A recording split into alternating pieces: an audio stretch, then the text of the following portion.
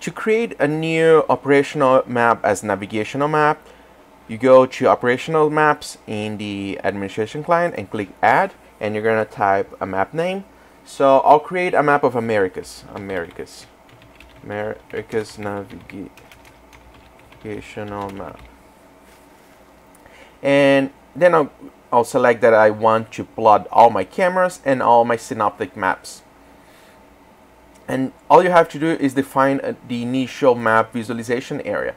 So I'm gonna um, set the map like this. You can do a zoom in and just select the position and the map is gonna show at this point at, at the exact point that you have configured. save and then I'll grant access to all my users to that map.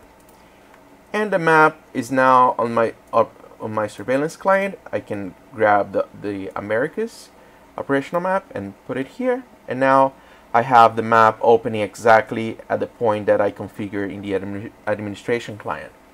This map shows that I have two cameras here in the US and 14 cameras in Brazil and I can navigate to these cameras here, open these map. This is a synoptic map that is linked to the operational map. I can click on this camera and open the camera here on the pop-up. I can click on here and just navigate and use the, the system just as you're used to.